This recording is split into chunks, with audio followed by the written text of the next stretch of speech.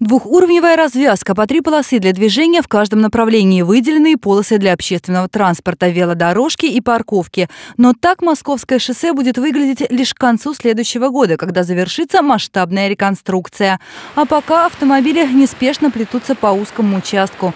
Особенно долго время тянется в общественном транспорте. Жители Красноглинского района жалуются. В час пик в пробке можно провести минут 40. При том, что пассажиропоток на этом направлении 700 тысяч человек в месяц. Вопрос обсуждали на оперативном совещании в мэрии.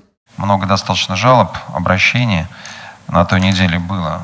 Каким образом вы эту ситуацию разрешили или планируется разрешить? Мы рассматривали эту ситуацию, как можно сделать. То есть, если там пустить, например, в объезд транспорт, то по времени это выходит столько же. По сравнению вот с первыми, например, днями, когда было введено это ограничение, сейчас там транспортная ситуация получше, то есть э, транспорт ходит быстрее, хотя задержки все-таки есть. Как ускорить решение транспортного вопроса, глава Самары выяснял уже на месте на выездном совещании с представителями областного министерства транспорта и сотрудниками ГИБДД. Один из вариантов – одну полосу полностью отдать общественному транспорту.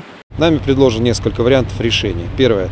Будут выделены э, реверсивные полосы, которые в часы пик будут работать отдельно для общественного транспорта вечернее время из города, в утреннее время в город. До 15 марта будет разработан алгоритм, связанный с доставкой людей с Красной Глинки до центра города электричками и речным транспортом.